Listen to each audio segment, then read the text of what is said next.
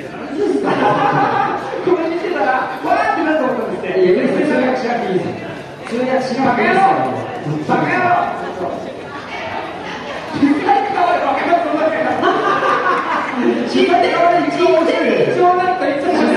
一、番面白いじゃないですか。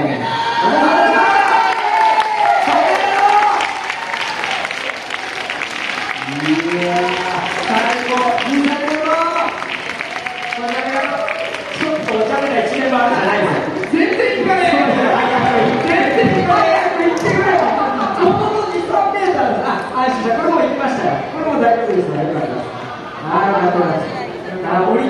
入りました。俺に会いました。